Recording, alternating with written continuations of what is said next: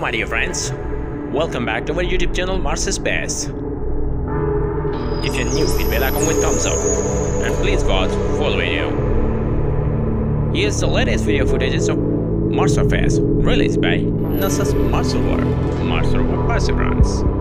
Perseverance rover using chemistry camera to capture this new image surface and discover a mysterious structure. Let's watch it close up. Here you can see the structure is clearly looks like a humanoid face. Here are eyes, nose and mouth. But the rocky structure is clearly like carving. What's your ideas about it? Possible carving on Mars of ancient civilization of Martians? What's your ideas about this face-shaped structure?